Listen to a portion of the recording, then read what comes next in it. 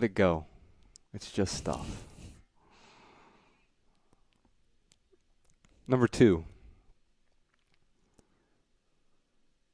you can't change the people around you, but you can change the people around you.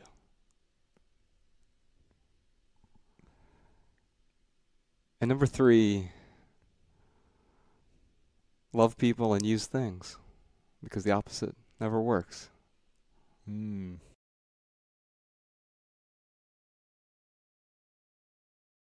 What is minimalism? So, so the way I think about minimalism is it's the thing that gets us past the things, so we can make room for life's most important things, which actually aren't things at all. Hmm. The average American household has more than three hundred thousand items in it, and that's not me going around counting other people's stuff. That's L- L.A. Times reported that a few mm-hmm. years ago, and it's not that things are inherently bad or evil. Just like you talked about marketing, when marketing's done really well, you're being polite and saying, "Hey, I might have a solution to a problem that you already have." We, we do kind of have a problem. When we moved when I was a kid, one of the boxes, you know, you label the boxes you pack stuff in, Yes. was labeled seldom used kitchen items. I mean, that, that is the world we live in, isn't it? That's rather specific. Um, and and I, I think the thing is, with all those items, they actually get in the way of what a more meaningful life can be. We tend to we make these aspirational purchases, like, oh, that looked really great on that mannequin, or that car looked really great in that ad. I think it's going to add value to my life, but is it really going to add value? So for me, minimalism was a way for me to figure out what are the things that are truly going to add value to my life, that amplify, that augment. those three words that Ryan mentioned, just in case, right? Like we go to get rid of something, you're like, ah, you know what? I should hold on to this just in case I need it someday in some non-existent hypothetical future, right? And and so we amass these sort of hoards, and when the first junk drawer fills up, we just we allocate a second junk drawer, and when that one fills up, we, we find a cabinet or cupboard or something, and we need more and more space. And, and so it, we, we don't give ourselves permission to let go of these things. And I found that I was holding on to so many things just in case, whether it was a sentimental item, and, and I didn't even have a plan to do anything with it. I, I was sort of a, a well organized hoarder. Like, I wasn't a candidate for the, the, the TV show hoarders. There were no dead cats in my freezer or anything. but but I, I owned a lot of stuff, right? And so I had an, an ordinal system of bins and boxes in, in my basement. And, and uh, you know, I, I used to weigh 80 pounds more than I weigh now. And, and so I had a lot of like double XL shirts. Like that was my plan in case I, just in case I gain 80 pounds back, I'll have these out of date clothes to wear someday. and when you say, start saying things out loud, you realize how ridiculous many of the things that, that we're holding on to are. But I, I, I don't, I just want to be clear, like, don't get me wrong, there, there are some things that add immense value to my life. In fact, it's the weird paradox of minimalism. I get far more value from the, the items that I have now than if they were watered my experience of life and then get rid of those things that are just in the way. What is that excess that i mean i look at our items as there, there are three different types of items. There are the essentials. We all have the same basic essentials right? We, we all need clothing and mm-hmm. shelter and mm-hmm. food. And then there are non-essentials the things that truly add value to our lives things that will make our life better when we have them. And there's the third category and that is junk.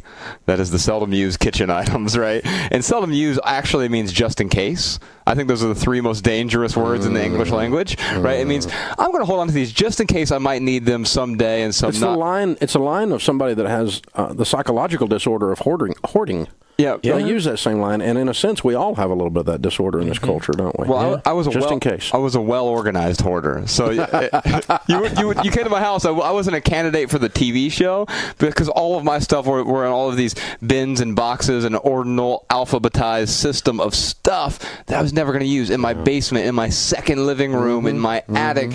All of these things. I had built this mausoleum of stuff called a suburban house, mm-hmm. and, and decided, well, I think these things are going to make me happy. Well, maybe the next thing will make me happy. Maybe the next thing. But of course, you get that next thing, and the, the ephemeral pleasure, it doesn't last far past the checkout line. And it turns out the VHS collection probably isn't going to work out. Someday, just in case. yeah.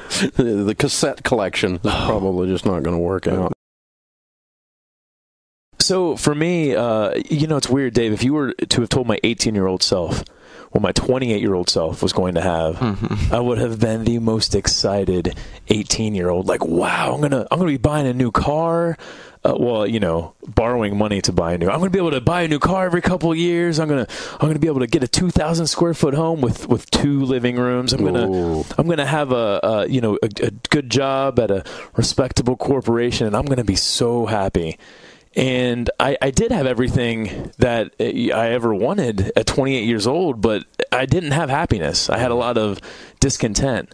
I had a lot of debt. I was I was miserable, and I didn't really know which way was up. And I re- I remember seeing Josh make these changes in his life over several months, to the point where uh, he he started making. Uh, I remember the what really really caught my attention. Is he started giving our boss rules when our boss was allowed to contact him. hey man, I'm not going to answer my phone after nine o'clock. Uh, if it's Christmas Eve, it's six p.m. and I'm out to dinner. I'm going to ignore your call because it's Christmas Eve and I'm spending time with uh, friends or I'm spending time with family.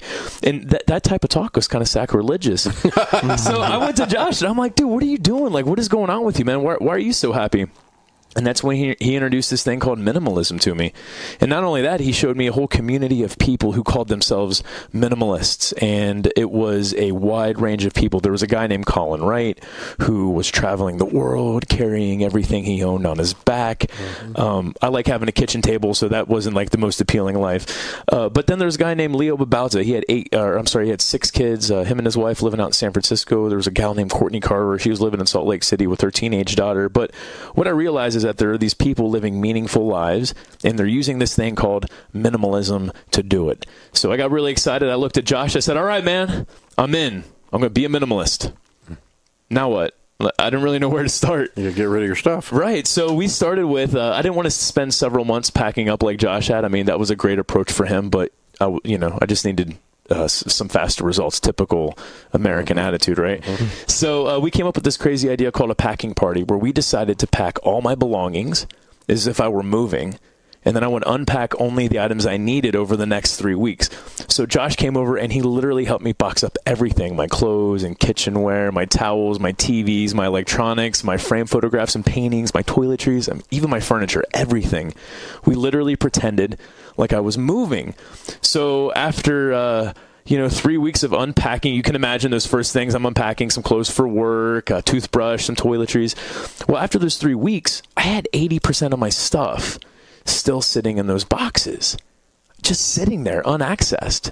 And I had this huge, uh, just light bulb moment about how I have spent this past, you know, decade of my life accumulating tens of thousands of dollars worth of things to make me happy, and they were not doing their job.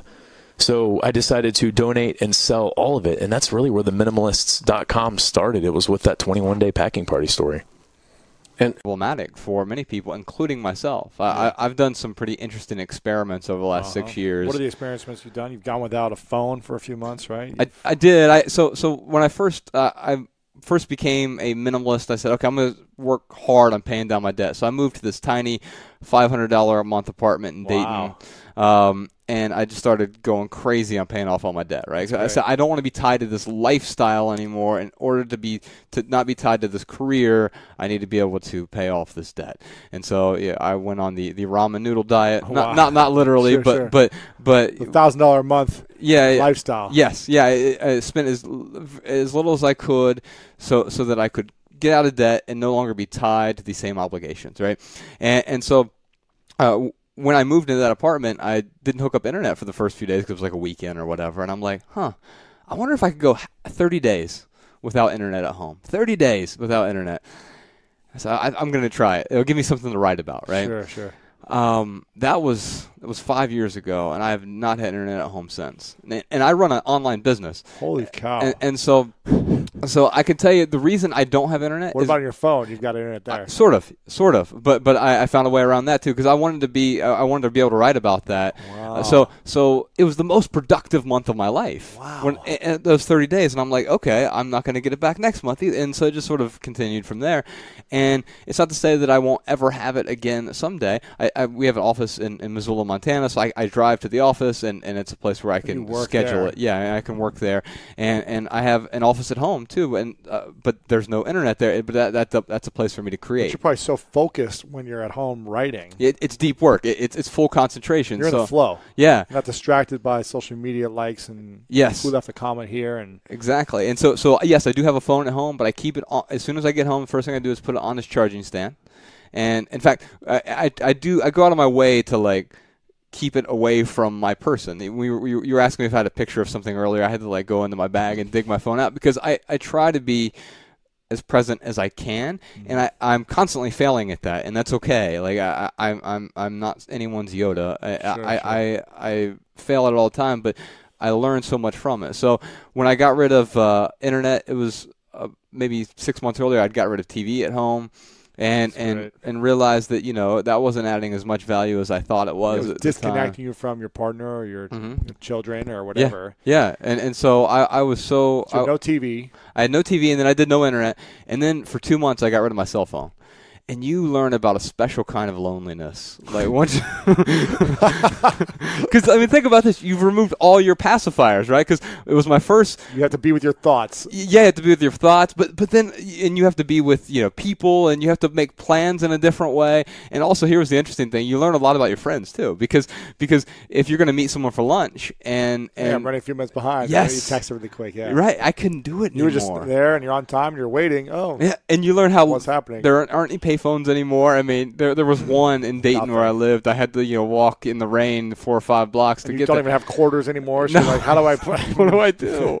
yeah, and so You're not remembering the numbers anymore. No. They're all plugged in our phone. I used to remember every number. yeah, yeah. Growing up, you know, your five friends, Uh-huh. your home phone, you know. Yeah, there's a great John Mayer lyric. He, he talks about the shape of calling. Like I no longer remember the shape of calling home, and and Shape of calling home. Huh? yeah, because you got you know you remember Yeah, used to remember these numbers like on, on Yeah, the but keypad there. Or the, the the little dial ringer. You remember those? Oh yes, then? yeah, the the rotary phone. Yes. yes. That was me, like age six or seven. yeah, we totally. I grew up with one of those. Yep. Uh, so so yeah, I, I realized that that once I removed all these pacifiers, that I had to.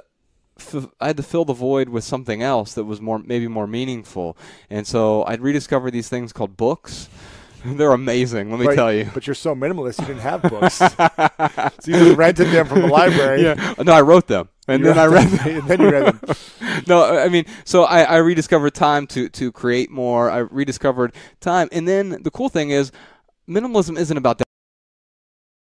we did that, we wouldn't really be able to help many people, would we?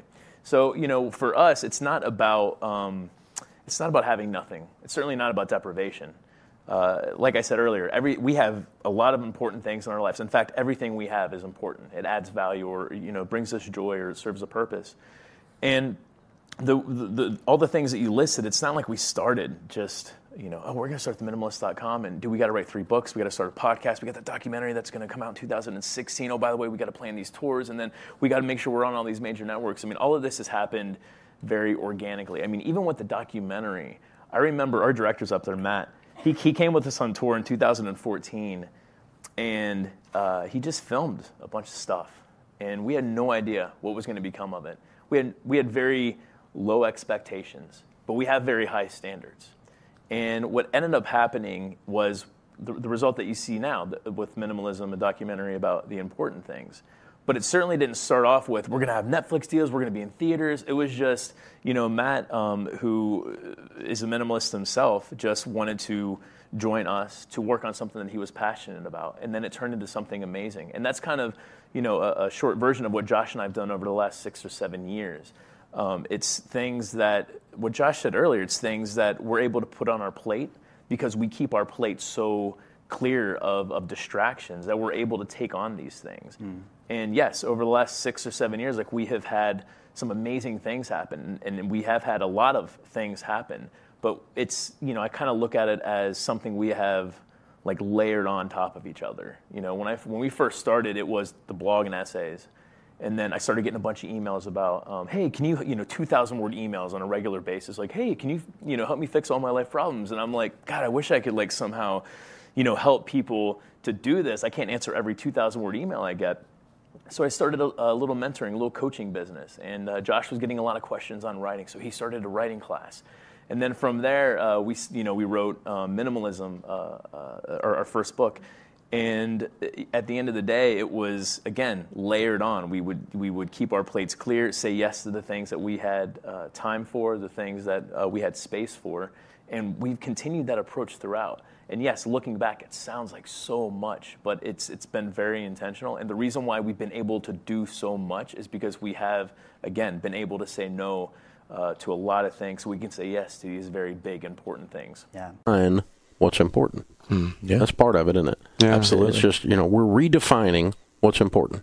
yeah, The gathering of stuff is not what's important, Right. And it's not it's not a lack of stuff. No. It doesn't have to be that you you know you're not a, a bad minimalist if you have over 104 items. I mean, Right, you can't. There's not a mark like that. It's it's a mm-hmm. mindset that says stuff is not where I'm going to draw my happiness. Stuff is not where I'm going to draw my meaning. Is that right? Exactly. I'm so glad you bring that up because the packing party, you're right. Like me packing up my stuff and being confronted with 80% of my possessions, it wasn't, you're right, it wasn't the packing up of the stuff. It wasn't getting rid of the 80% of stuff that, that was freeing. What was freeing is reprioritizing what my priorities were. Because up until that point, if you would have asked me, hey, Ryan, what are your priorities? I would have said, well, uh, my health, that's a major priority, but I was eating fast food every day. My finances, I want to retire, uh, but I was spending money on all that stuff. Yeah. And what I realized is my priorities, it's not what I say I do, it's what I actually do. Someone in the comments section, they were like, you know, it sounds like it's, you know, I don't know what the big deal is, guys. It doesn't sound like you gave up anything that was important. And Josh was like, that's exactly it. We didn't give up anything that's important. Everything we have in our lives right now, it is important. And I think that's what minimalism is really about. It's about determining what is important in one's life, and that is different for everyone. We focus on what I want my priorities to be. And I think like the, the biggest thing that minimalism really helped me do is to get clear on what my priorities were and what I wanted them to be. Because for the longest time, like if you were to, if you were to ask my you know 25 or 26 year old self, like, hey Ryan, what are your priorities? I would have said, well, my health. If I'm not healthy, well, I'm not happy. Uh, my relationships, you know, my my uh, my mom, she lived a half hour away. I might have seen her six or seven times a year. Uh, my health wise, I was eating out fast food a lot. Or I would say, oh, you know, I'm working on the big passion project that I've been putting off for two years. That's my priority. And what I realized is that I gave my priorities a lot of lip service. And what I was able to do is to actually make my priorities my actual priorities. And that's what our priorities are. It's not what we say they are, it's what we actually do with our time. Yeah. Uh, we have something called uh, the 30 day minimalism game. And, you know, decluttering, it can be boring sometimes. So Josh and I decided to, you know, make it fun uh, by adding a little bit of friendly competition. So you find a friend or a family member or a coworker who wants to get rid of stuff. And you both agree to play this game, and you start on the first day of the month. So, you know, July is just around the corner. Uh, you could start on July 1st. You both agree to get rid of one thing on the first day of the month. And then on the second day of the month, you get rid of two things. And then on the third day of the month, three things. And then on the fourth day, okay, so forth and so on. You probably get how it works. So it starts off really, really easy, right? Up until you get to like day 19, you get rid of 19 things. And then, you know, the next day on day 20, you're like, oh crap, I gotta get rid of 20 things today. And uh, it's funny because my partner Mariah and I, we played this um, not too long ago. And uh, even as you know, me being one of the minimalists, we still were able to like make it through the whole month. And if you do, uh, you get rid of about 500 items. So you know, you bet something real silly like a you know maybe a dinner or something small, or, or someone has to cook dinner, or um, Dude, this is Google. You can bet a million you can bet a million dollars. so you know what what what. what, what Raise the stakes, Nicodemus. what Mariah did is she bet. No, this is pretty good. So Mariah was playing with a friend of hers in Fargo, North Dakota, and uh, they the loser had to basically karaoke a song that the other per, that the winner picked out. so um, they both ended up making it through the month, but in that case they both won because they both had gotten rid of about 500 items. Yeah, I think I think the the other way the, that's a very practical sort of how-to step, but the other side of, of simplifying our lives is understanding the why-to side of things. Like, what, what's the purpose? And so, for me, the the really important question early on was, how might your life be better with less? And, and I think by answering that question, you're able to identify the sort of benefits of minimalism for you. And I think they're different for everyone. You know, the, the, the benefits for I've got a four year old now. The benefits for a four year old are going to be so considerably different from the benefits for you versus anyone else in the room. For some people, it's health, it's finances, reclaiming your time, your attention. Um, and, and you have to figure out what those benefits are for you because that's going to give you really the leverage you need. I think we all instinctually know you know, how to declutter, right? You know, you're not going to see me and Ryan write something like, here are the 67 ways for you to declutter your closet this weekend. Because we all know how to do that. The question is, why are we doing it? And once you understand that, I think you have the leverage you need to move forward. Yeah. how can I influence my kids towards minimalism and um, wholeness? That Yeah. it doesn't come from things. What do- What do you guys think about that? You know, I first embraced minimalism. I had this pivot point. My, my mother died, my marriage ended both in the same month. Hmm. And these two events forced me to look oh. around and start to question what had become my life's focus. And Elizabeth, I, I realized that I was focused on the wrong stuff. And so when I started simplifying my life, it took me about eight months. I radically simplified. People around me started noticing something was different. Ryan came to me and said, "Hey, why, why the heck are you so happy lately?" Hmm. People at work say, were saying, "You seem less stressed. You seem so much calmer. Why, why aren't you being as mean as you used to be?" And it opened up the door for me to talk about this thing because I never jumped up and said, "Look at me, I'm becoming a minimalist, and you need to mm-hmm. too." Mm-hmm. It's not about the proselytizing of minimalism. It's about showing people what the benefits are. So I always start with a question: How might your life be better with less? And we do that with our five-year-old daughter right now. Also, how might your life be better if you're giving instead of just taking all of the time? So I think whether we're dealing with adults or kids, we have to talk about what are the benefits of simplifying for you because I think they're different for each of us. For me, it was just finances at first, but then it was uh, rediscovering time for my creativity and, and, and for other values in my life that were important. But what are the but what are the benefits for you, Elizabeth? And then what are the ben- talking about the same thing that Josh and I are talking about.